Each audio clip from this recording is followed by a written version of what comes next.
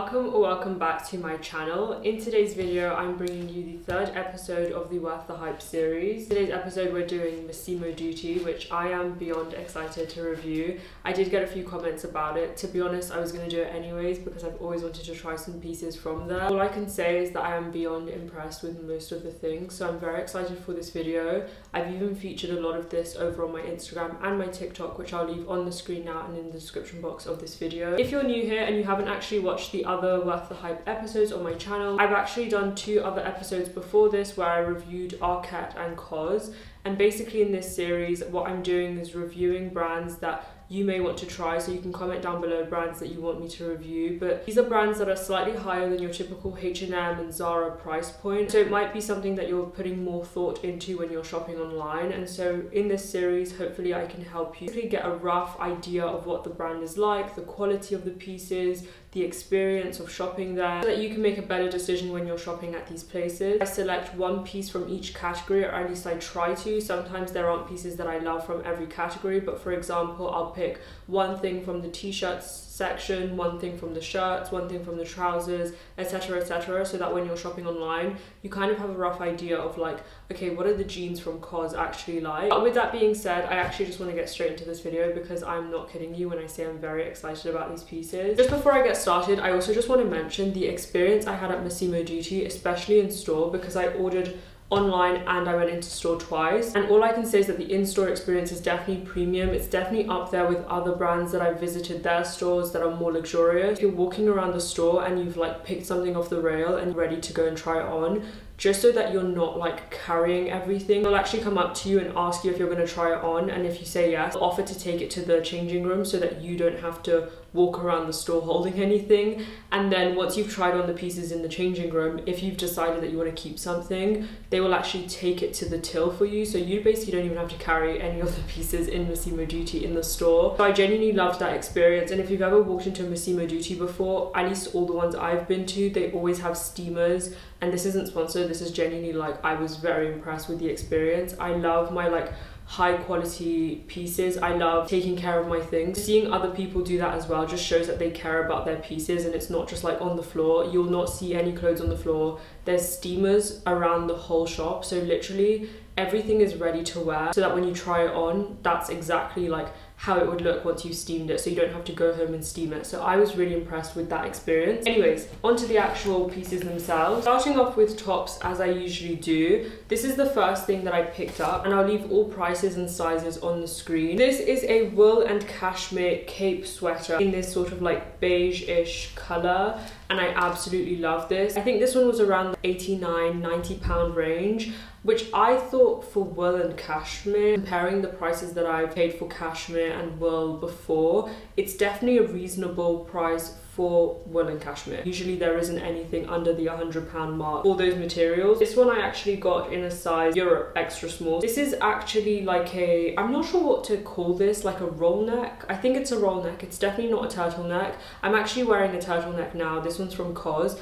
I love this one because it only has a certain amount of material so you can only really do one thing with it which is you just fold it once and that's it and so it's super easy to wear it. The only thing i would say about this i absolutely loved it. I loved the color and i'll put on a try on clip on the screen. But the roll neck is a little bit too complicated to make getting dressed easier. I think if they had just you know if you just and I don't know, maybe you can get this tailored. You know, it's pretty simple to just get some of this fabric cut off so that it's just like a simple turtleneck. Because I will say the shape of this is so unique. It's almost like an A-line. It looks super premium. I do have something similar to this from H&M that I got like two to three years ago and a lot of people ask me about that and maybe to be honest it's because I've had it for a while and I need to have some like maintenance done to it but this one obviously doesn't have any of the bubbles right now. I know it's cashmere and wool, so it probably will form over time and then you have to like make sure to care for it, get it like, you know, you can get debobblers and stuff but I really just like this. It just looks so nice. With regards to the itchiness of this, from what I can remember when I tried it on, and if I am like wrong about anything when I'm editing this,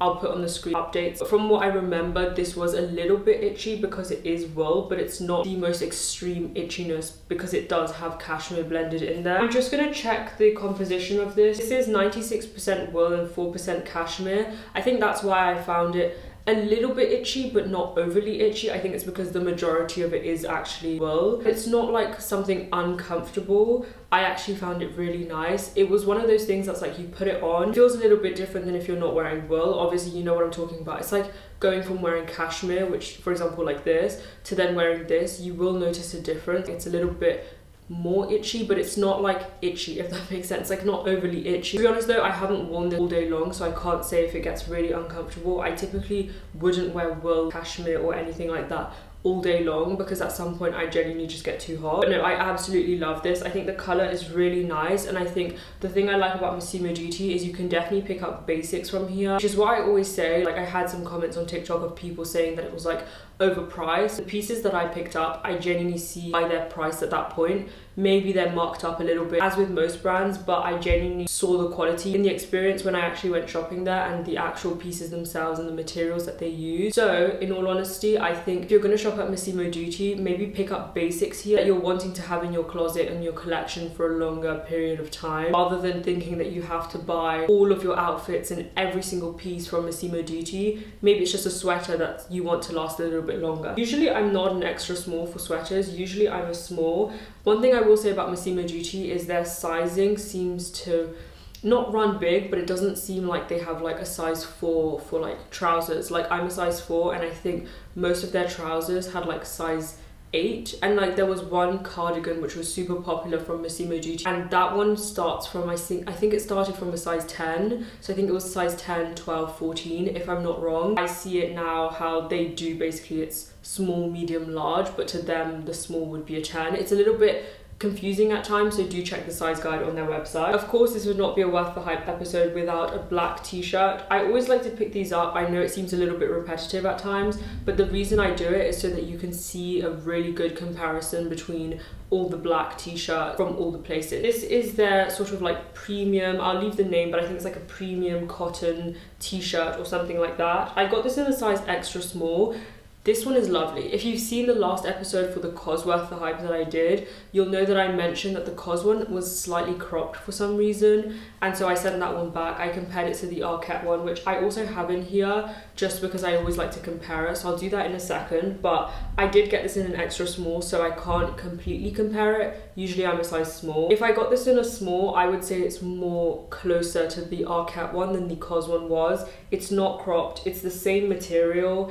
It's just what I would call a good quality t-shirt. Now that I've experienced the Arket one, I know what to look for for a good quality t-shirt and this one definitely ticks that criteria box. It's just everything that you would want in a t-shirt. Just that nice premium feeling. I wouldn't say, let me get out my Arket one which I put in here. The difference, I will put close-ups but the collar on this has this like ribbing detail whereas the Arket one is plain.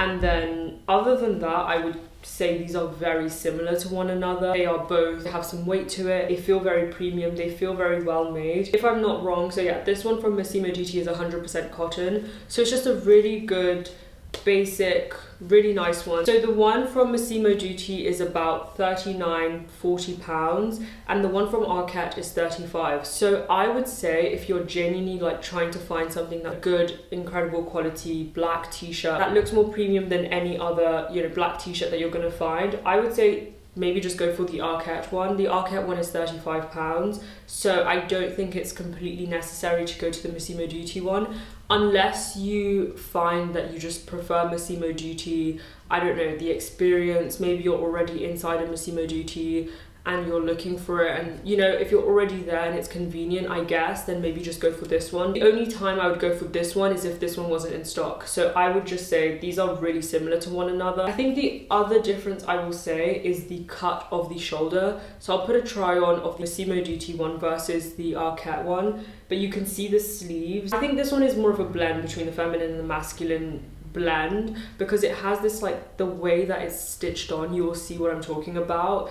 The drop starts a little bit I don't know it kind of gives your shoulders a little bit more something. You'll be able to see in the clips what I'm talking about, but the Arket one is more of like a, I wouldn't call it boxy, but it's definitely more like a masculine take, I think. Next up in the tops is a black blazer. This is my new favorite blazer. I would consider this to be like a tuxedo style blazer. It's a little bit different to the usual black blazers that I pick out. I actually picked this one up in store This one I believe I got in a size 10. So again with the sizing, with Massimo Dutti I realized the sizing is not the same as my usual sizing. Usually if I'm shopping, you know, you guys might have seen if you watched the Arket one and the COS one, the sizes were pretty much the same. 32 for the trousers, which is like a 4, and you know, a small for all the tops, like it's all the same. Massimo Dutti, I would say if you're shopping at Massimo Dutti, maybe you're better off shopping in store because the sizes, they're not like not true to size they're just different sizing if that makes sense. Yeah i got this one in a 10 i could have done with an 8 which is my usual size so i think this one is you know pretty true to size.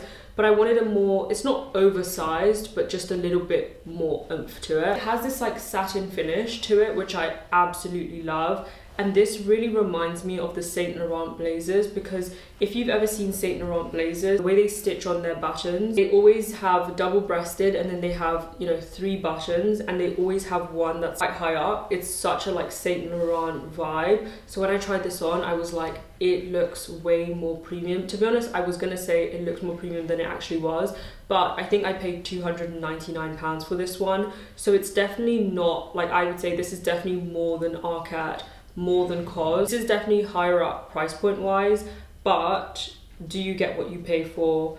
In my opinion, yes, because I went in store, I had the experience, it was very nice, and then I got this and I genuinely was looking for a tuxedo blazer anyways. I don't think they call it a tuxedo blazer on their website, and it's funny because on the website you can't tell as much that it's this satin finish. It almost just looks like a normal black, you know, like world cotton blazer. I'm gonna tell you guys the composition of. Now this is where it gets a little bit like, is it actually worth it? Because this one is 50% viscose, 50% acetate and you always have to think about material. Like the other day i just realized that i had something in my collection which is a little bit more premium price point but it has a lot of polyester in it. And then you have to think to yourself am i paying a premium price point for basically plastic? Like you really have to think is it worth it then? Like you can find polyester anywhere like zara H&M and like obviously many different stores. But if you're shopping higher end premium you're paying that premium price point. You have to think is it actually worth it? Because it's polyester. And if I can pay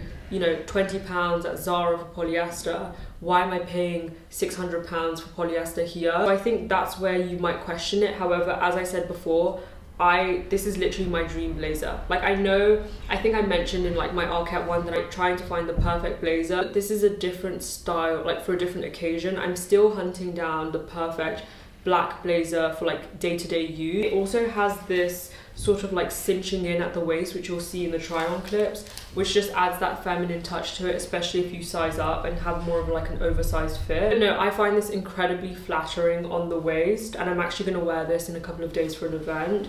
I just love it. It's so nice, and it just, even though it is 299 pounds, I would say it even looks more than that. Like, as I said, it really has that Saint Laurent style to it and the collars and the I just love it so much. This is just a perfect festive season blazer. I absolutely love it and I think it's perfect timing for this video because it's December 1st when I filmed this. The next thing that I got is this wool coat. This one I actually have the tag for because I bought it in store. Everything you buy online comes with a tag but they cover the price. So this one was 369 pounds and I actually got this in a size large. The size large I think is the size 14 on their website. So again, it's like size 10 is a small for some pieces, size 10 is a small, size 12 medium and size 14 is a large. If I'm not wrong, it depends how many sizes they have, but if they have three sizes, that's how they basically do it. I got this in a size large, which usually I would never go for, but I did try this on in store and even the people there were saying like, it doesn't look over, like, it just looks like a normal oversized wool coat. It doesn't look like, whoa, you didn't get your size. It genuinely looks really nice. The only thing I would say about this coat is right now on camera, it might even look like it's the same color shade as this sofa, like, you know, but actually in person, it's got this like pinky undertone. And the only thing about that is I own a lot of ecru cream toned clothes and when I tried to style it with this because I really wanted to do a full cream outfit and I just couldn't do it because this actually has a pink undertone and most of my things they're basically ivory cream as opposed to this type of cream. It's so gorgeous. I'm not quite sure what to do with it. Like i really want to keep it. The only thing I would say, it does have these double lapels, but what I usually do when I'm wearing this coat, and I'll show you in the close-up try on, but I actually tuck it in because I usually don't like double lapels. I think double lapels looks a little bit too trendy. I haven't worn this as much as I would have hoped to because it's just so high maintenance. If I'm out and about and like the other day I went to go get my nails done and I wore this and I was so careful. You know, if you go out anywhere and you sit on chairs, you never know what's on the chair and so I genuinely couldn't even sit on anything with this. I had to keep taking it off and I'm like, I don't want to have a coat where I have to constantly think about where I'm sitting and how I'm sitting and always it touching the floor and I just don't want that. So I did actually get a double face. Double face just means the inside and the outside are both same material but I did actually pick up another double-faced wool coat from COS in black which is just so much better because it's so low maintenance it's obviously got some weight to it because it's a wool coat and it has like this really interesting it's a slit design but it doesn't actually lead to anything. It's belted it's got another sort of like it's not a slit as i said it's just this like opening design. Another thing to mention is that on the website it does actually mention that this is wool which i obviously have more wool coat so i can say this is definitely a wool coat. But on the tag says that the lining is 55% polyester 45% viscose and then on top of that it just says 18% polyamide i don't know what that's describing Now I actually didn't pick up any like smart trousers from Massimo Dutti because I actually went in store, I went online, I just don't think I found anything that I liked. So instead I picked up a pair of jeans. So these are called the Relaxed Fit High-Waisted Jeans and it's in this white colour and it's got these frayed bottoms. I got this in a size Europe 34 which I believe is a size 6. I can tell because I actually tried this on again this morning and the waist, it has a little bit of gaping at the back, which I usually never get. Maybe because it's jeans and not trousers. I'm not going to keep these anyways because first of all, I don't really need another pair of white jeans. I think I have my collection for now pretty well covered. But this is also like these frayed bottoms and I'm not going to lie, it sounds really like I'm exaggerating, but I actually tripped over these frayings today. Like, I don't know if you can see there's some that are longer than others you can trip over this and it actually just does keep fraying and I don't understand the point. I mean one thing that you could do is just get this tailored, get them to tuck in the fraying and get like a very nice clean neat bottom you get it hemmed. But I just don't like the fraying and then I think it was just too vibrant. Usually I like more of my ecru tones my off-white jeans. This is just a little bit too much of a stark whoa and I think maybe in the summer I'll come back to colors like this but right now it just doesn't have a use in my closet. However despite that I actually still really like these jeans. I think they fit me really well considering the fact that they're in a size 6 and not in a size 4 it doesn't feel as heavy duty or heavyweight as the COS or Arket jeans but I think those are two completely different type of jeans. This is more if you want like a relaxed fit. I would say these are perfect more so in the summertime. As I said, for right now, in the wintertime, it's December right now, it's a little bit too bright for my liking. Before I move on to what I have over here, I also just want to mention that for the try on clip of those jeans, I am around five foot six. I do have quite long legs, but I am around five foot six for anyone who's wondering. Next up, I picked up a pair of shoes. I picked up a pair of boots. I You might have actually seen this. I posted it on TikTok if you follow me on there or if you follow me on Instagram people went nuts over these boots. They are the leather pointed heel boots. These I got for 219 pounds, I believe, and they are real calf leather. I did get a question about that on TikTok. But I absolutely love these. There are some pros and cons to this, so I'll get into that. I haven't actually worn these outside yet, but I can still tell you about like comfort levels and everything. I wanted to find something that was a pointed toe. I've been looking for the longest time. The only thing I'd say about pointed heel is sometimes it makes your feet look even longer than they actually are. I remember I got a pair of like sling back pointed heels from Mango and it made my feet look extra extra long. So that's the only thing about them. But this doesn't too much i wouldn't say. I got these in my normal size and they are really nice. They're not tight on my feet. They're not extra extra roomy but they just they're good. I think stick to your normal size if you're to pick these up. Now these i'm to take out what comes inside. They hold their shape well right now. As you can see they hold their shape pretty well. They're not like flimsy or anything. They're sturdy However, I don't know if you can see on camera where it's got this like, obviously this is leather so it's to crease and that's just normal. But the thing about these is that they kind of protrude outwards a little bit. When I say protrude outwards, this is quite wide. I have quite thin legs and calves, so my legs take up like that much. And so this much is just like extra leather in front of my calf. And the only thing about that is because it doesn't, you know, take up this entire space, this part here, when I walk, and you'll see it in the try on, it kind of does this. This is actually what happens when you're walking. The only thing is I know that it's going to crease in that way and I really don't like when boots crease like that. I did see a pair of heels from Valentino and they look so incredible but this part here is it looks like it's a little bit more slip. I love these because they're also very comfortable. They do have a little heel, but honestly, I would compare this to the heel height of a mule they are very very comfortable. Considering the fact i never basically wear heels this is very comfortable. A lot of people are asking me is it uncomfortable? Is it too high this is genuinely the heel height of a mule. It's very comfortable. One other thing i'll mention is these and this is why i'm not putting it really close to the sofa. You can tell because it's left these marks on the tissue paper. I don't know if you guys can see on this tissue paper. It's got the bluey black like scuffing or like marks. And that's actually from what they use to dye these boots i don't know exactly how they dye it because i can actually see this is why i'm really not sure about whether i want to keep these because the front and it's such a like small detail but you know i'm gonna look at that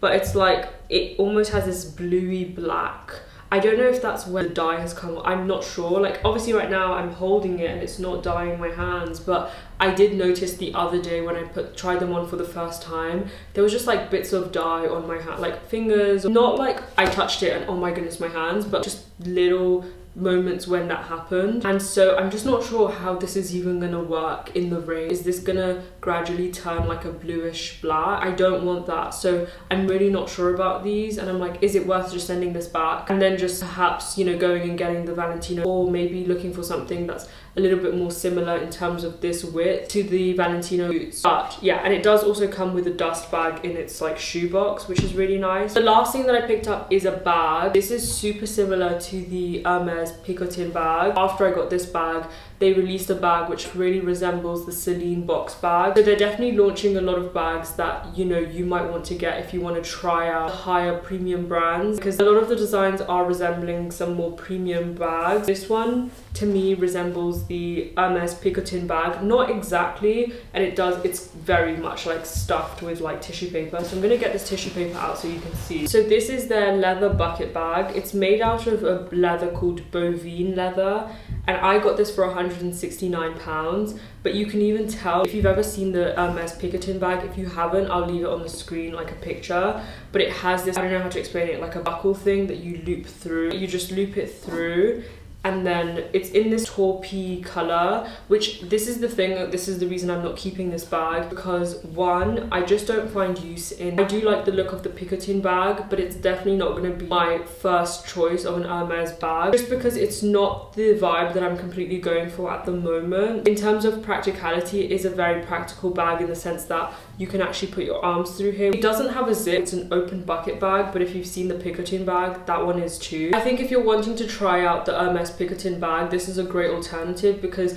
it's really well made. It's not something that you're to find online which looks like the Hermes Picotin bag but isn't well made it's just to look like it. This is actually really well made. The inside is a cowhide leather which has this like suede feeling to it. And then you also have this you'll see close-ups but this large leather pocket. I'm going to show you guys what fits inside so that you can see what happens to the structure of this bag as you fill it up. So i've got my arket bag with me with my things for today. So i'm going to transfer over the bits from this bag into this bag. I'm going to start off with my wallet because i'm usually carrying that. And i'm just gonna lay it flat because that's the best way it fits in here. And then I've got my sunglasses case with some sunnies, my deodorant, and I've got orange juice in here. It's very, very nice, I will say, like very spacious. And then my makeup brush. This is what's happening. It's got some weight to it but it's definitely not that heavy to be honest that's everything i've got in my bag for today i'm not going to pretend like i've got more things but i do have here with me my ipad so i'm just gonna because it will fit in here and i can tell which is really good because this would make a really good like i mean it fits but like plays around with the shape a little bit if you're running errands and you need your ipad to like do some email. This is great because it will fit. I mean, you can not see everything inside because you can fasten it. There is no zip to it. But yeah, if you take out the iPad, this is how it looks and I actually really like it. The only thing about this bag and the reason I'm not keeping this bag is because of the colour. It's a little bit too cool toned for any of the outfits that I typically wear. Maybe at some point when it becomes practical in my closet, I'll get it again or get something similar. But yeah, this is a really good, as I said, alternative to the Picotin bag. If you're looking for something like it, I genuinely was looking for something like the Picotin bag. I probably wouldn't even pick up the Picotin bag in this colour. I would go for something a little bit more warm or like an ecru tone. It doesn't sag too much. I would think that this would literally droop, but it doesn't. It still holds its shape. But maybe that's also because my wallet is flat. So let me just lift my wallet and see if anything changes. So not really. And just like that, we've come to the end of the third episode of the Worth the Hype series. If you enjoyed this, don't forget to subscribe and hit the thumbs up button. And definitely keep your eyes peeled for the next episode, which will be out next month. If you want to see any specific brands being reviewed, don't forget to leave it in the comment section down below. I am making my way through the recommendations and also the brands that I genuinely love anyway. But with that being said, I hope to see you guys very, very soon in my next video.